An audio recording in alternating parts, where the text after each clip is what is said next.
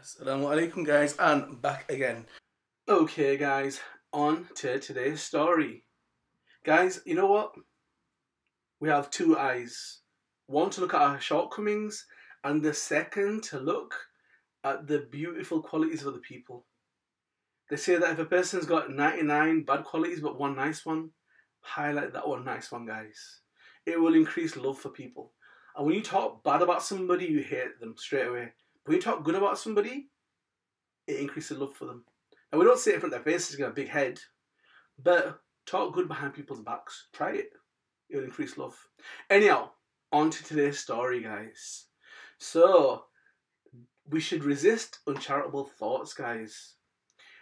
Once there was a newly married couple, and they moved into their dream home. And the first morning, they sat to breakfast in their kitchen dining room and they looked out. They had a beautiful big window and they could look out that window and see the neighbour's house across. The neighbour across had a nice house and a beautiful balcony. And as they were sat down to breakfast, the neighbour, she'd washed her clothes and she put some of the clothes on her balcony to dry. Now, the newlywed wife was horrified. And she said, Look at the state of them clothes. That woman does not know how to wash clothes.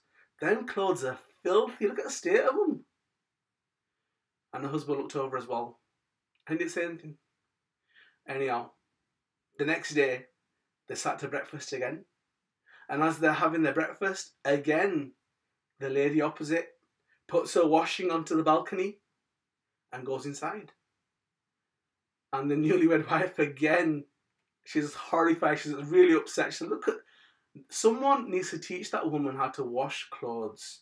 Look at the state of them clothes. They are so dirty. It's disgusting. Honestly, I can't believe she can't wash clothes.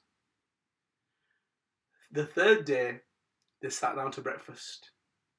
And as they were eating the breakfast, again, the lady opposite put her washing on the balcony, and this time the newlywed wife said, Oh, thank goodness. Someone's taught her how to wash clothes. Them clothes are actually nice and clean.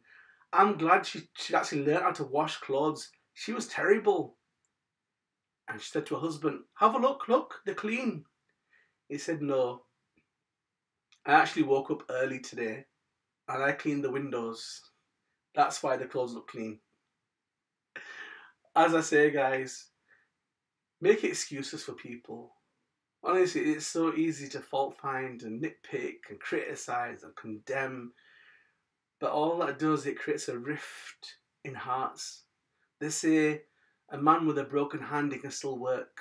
One with a broken heart they can't. And the real miracle, the kamal of this time, guys, is to join hearts. Is to bring hearts together. This is what Allah loves. Guys, we don't eat food out of a dirty plate. You don't go out with a dirty face. You don't go out with dirty clothes. Why are you going to take a dirty heart back to Allah? Keep the heart clean, guys. And in reality, the habits aren't good, we need to stop.